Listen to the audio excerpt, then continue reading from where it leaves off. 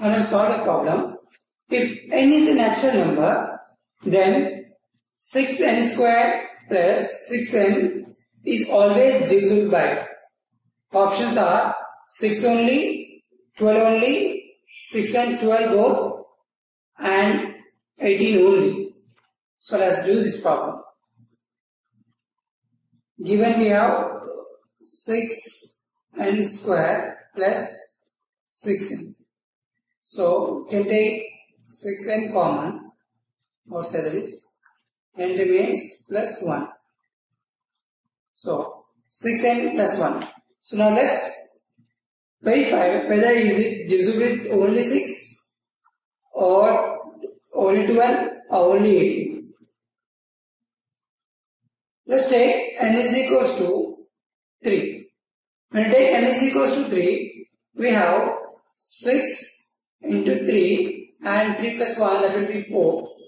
So that this will be 6 is 18, 84, 72. So 72 is divisible with 6 also with 12.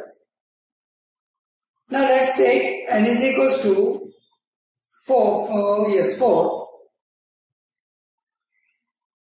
and now let's verify 6 into 4 and again n plus 1 so that will be 5 6 5 6 into 4 24 24 into 5 it is 120 so 120 is divisible with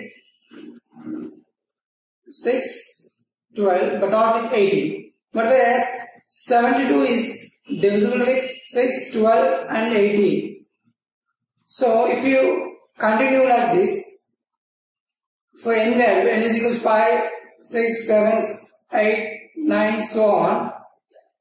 It is always divisible with only 6 and 12 in some cases it is divisible with 18 so the question asked is if n is a natural number? Then 6n square plus 6n is always divisible with divisible by. So always divisible with only with 6 and 12 both but not with 18 so only in some cases it is divisible with 18 so the option C is correct